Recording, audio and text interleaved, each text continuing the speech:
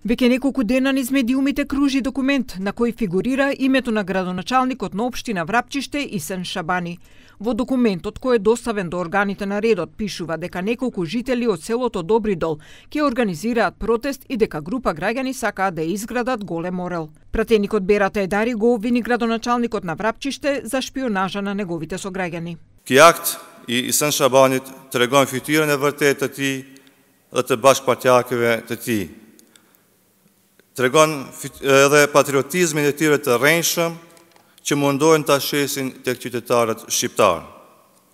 Në fund, nga gjithë kjo, konstatojmë se kër një kretar komune spionon ata që i kanë dhëmë besimin për të drejtuar komunën, imaginoni qëfar mund të bëjnë si kur të njëjtet të jenë në pushtet. Од za Albancite ne saka da i komentiraat vakvite obvinuvanja. Ne nuk miremi me të pavërteta, dhe besoj se adresa për këtë pyqe është kryetari komunës së vrapqishtis dhe besoj se do të mirë një përgjigje nga AI. Na Facebook reagirаше и градоначалникот на Врапчиште Исен Шабани.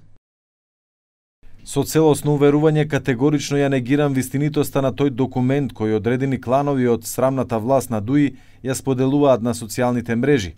Тоа писмо е лажно, а оној кој го споделува ќе одговара кривично, Ваквите клевети не може да го прикријат срамот за тоа што го направивте и што го правите постојано кон нацијата и граѓаните на оваа земја. Според Шабани станува збор за фалсификувано писмо, додавајќи дека ќе бара кривична одговорност од лицето кое го споделило.